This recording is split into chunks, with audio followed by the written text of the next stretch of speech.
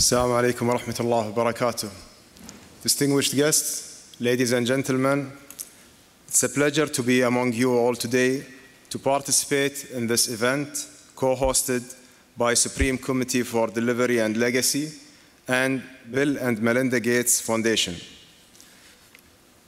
It's truly incredible time for us here in Qatar as we welcome the world to, one, to attend one of the biggest global sporting events and one of the first of its scale to be held in this post-COVID era.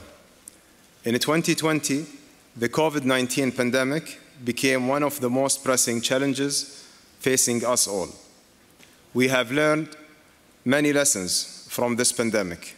Most importantly, we have learned the importance of collective action and joint responsibility to eliminate the effect of this crisis. We also learned the importance of investing in innovative healthcare practices to address unprecedented healthcare crises. The state of Qatar has taken a balanced approach since the beginning of the pandemic and has placed the protection of the people and the society at the forefront of its priorities. Qatar also continued its role in supporting international efforts to stop the pandemic by providing logistical and material support to affected countries and to the World Health Organization. Today, we will have the opportunity to hear from individuals who pioneered global efforts to combat this crisis.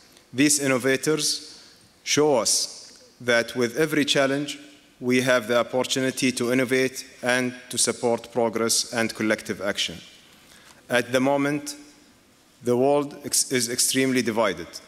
The World Cup reminds us that all nations in the world are connected and that we all have a responsibility to work together to improve global health.